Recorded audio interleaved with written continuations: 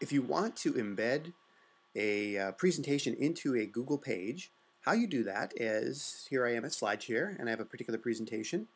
What I want to do is click on the embed button here, copy the code, and then I'm going to go back to my Google page.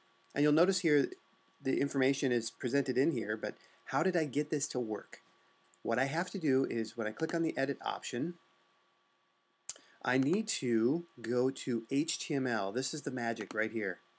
And inside this code, I paste in the gobbledygook that I copied, uh, the embed code that I copied from slideshare.net. And when I click update, you're going to see a Google gadget.